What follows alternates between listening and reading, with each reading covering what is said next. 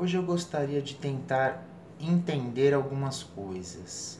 O que vocês procuram na internet? Vocês buscam informações novas, como por exemplo spoilers, informações oficiais, informações que agregam mesmo os interesses de um verdadeiro fã. Porque eu fico muito impressionado em ver como vídeos totalmente insignificantes fazem sucesso. Vários canais aí que espalham a desinformação, trazem informação errada mesmo aí para você. Do que, que vocês mais gostam? De uma thumbnail bonitinha, uma ediçãozinha ali mais bem trabalhada? Ou de informações corretas, sem achismos? Especulações são muito legais. Eu concordo plenamente. Eu penso muito dessa forma. Pô, eu adoro especular. Eu acho que todo fã de Dragon Ball tem que especular muito. Mas tem que ser especulações coerentes. Eu vejo vídeo né, de especulação, além de passar informações totalmente erradas, inválidas, e você vê que essa especulação é isso que, isso que mais dói mesmo você vê ali que já tem resposta, já foi respondida, sabe? Tanto dentro da obra, né, na franquia, como pelo próprio autor. Então, assim, não tem o que falar sobre aquilo. E o pessoal vai lá e faz um vídeo especulando uma coisa que já tem resposta, entendeu? E faz sucesso. Cara, eu juro pra vocês, ó. É, eu volto a falar isso. Eu criei esse canal aqui justamente Sabe, porque eu, eu pegava ali, eu pegava meu celular, queria ver alguma coisa e não via nada de interessante. Nada, nada. Era mais ali mesmo pra, por conta de spoilers, né? Alguma novidade ali que tava para chegar ali que eu falava, caramba, ó, que legal. Aí eu acho super legal falar, caramba, ó, o cara foi lá e trouxe essa informação aí correta pra gente, ó, isso, é, isso é legal. Mas é muito difícil. É, são, tem muito menos canais bons e um monte de canal aí que não tá falando nada com nada aí, bombando. Entendeu? Eu não tenho nada contra ninguém aqui. Eu acho que todo mundo aí tem o direito aí de criar seu canal, de se expressar né, da, da sua forma, mas passar informações erradas, isso não é aceitável. Fazer vídeos de especulações que já tem resposta, se o cara quer fazer, faz. Mas aí eu acho que o mais culpado é quem assiste. Desculpa, mas nesse caso, o mais culpado é quem assiste. Porque o cara só vai colocar um negócio desse porque tem público para isso. Agora, especular. O que realmente tem que ser especulado. Curiosidades que valem a pena.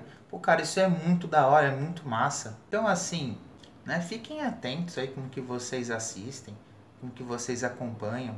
Porque aí vocês vão estar tá dando força para espalharem aí qualquer tipo de coisa, qualquer tipo de vídeo sem qualidade nenhuma.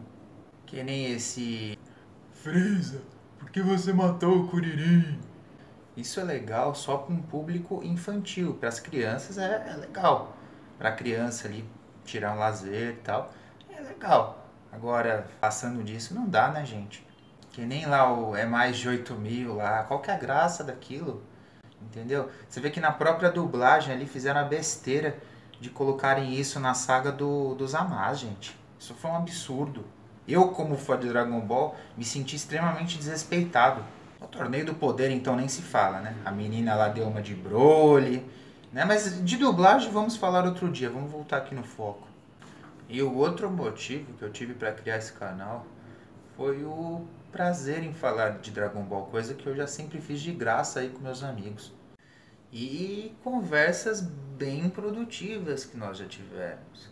Então eu pensei, por que, que eu não começo a compartilhar esse conhecimento, essas especulações legais, interessantes no YouTube? Então, assim, coisas legais, pô, que nem esses dias aí, por exemplo, um sebo ali, resolvi entrar ali para ver se tinha alguma coisa ali, alguma relíquia, né, de Dragon Ball. Infelizmente não tinha nada. A única coisa que eu achei foi uma revista da Nintendo que eu vi ali duas imagens bem nostálgicas.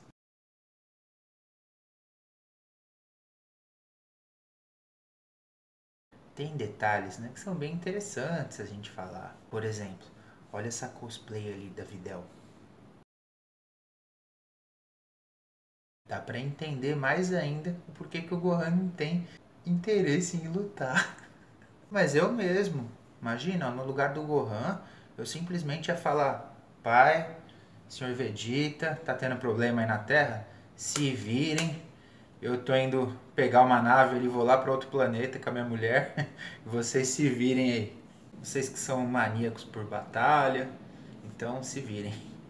Bom, e voltando ao foco, eu preciso muito aí da força de vocês aí, se inscrevam no canal para que eu consiga atingir esse engajamento e eu consiga aí estar tá espalhando uma informação de qualidade. Porque assim, quem me acompanha aqui meus vídeos, quem me conhece, sabe que eu falo aqui tudo nos mínimos detalhes. Sabe, quando eu escrevi ali, por exemplo, o nome do, do primeiro filme do Broly errado, eu já corrigi, sabe? Eu fico, quando eu vejo um errinho assim, eu já tenho a, a grande preocupação em corrigir. Que nem como uma vez eu citei, ao invés de eu falar a frase completa, é, Diaco, o patrulheiro galáctico, eu falei Diaco, o patrulheiro. Eu me preocupei em corrigir esse detalhe, porque isso é importante. Quando eu pronunciei errado a nova transformação do Gohan, né, que eu não falei Beast, né, graças às minhas fugas né, que eu dava na, nas aulas de inglês. Quando eu fazia cultura inglesa, para vocês terem uma ideia, a minha avó tinha que ficar plantada na frente da, lá da sala para mim não fugir, cara. Senão eu pedia pra ir no banheiro e ficava dando rolê ali na escola. Entendeu? Olha, olha aí o preço que eu pago por isso. Tá vendo? Ó, passei uma vergonha. Falei o nome da transformação errado. Fogo, né? Não, mas ó, voltando aqui, ó. Vocês entendem é, a minha preocupação em passar a, a coisa certa para vocês? E você que é novão aí, tá? Não siga de exemplo isso que eu falei do inglês, não, viu? Eu tô falando isso justamente para vocês verem como é feio, como é, ficou feio para mim o preço que eu pago pela besteira que eu fiz no passado. E não é legal ficar só apontando o erro dos outros e não falar dos nossos. Entendeu? Então é por isso que eu me cobro muito. É por isso que toda vez que eu erro, eu menciono o meu erro. E eu acho muito chato as pessoas espalharem informações erradas e não falarem absolutamente nada, ficarem quietas. E acho que eu já até falei demais aqui, né? Mas a lição é essa: vamos focar na qualidade, na qualidade das informações, do conteúdo que nós assistimos na internet.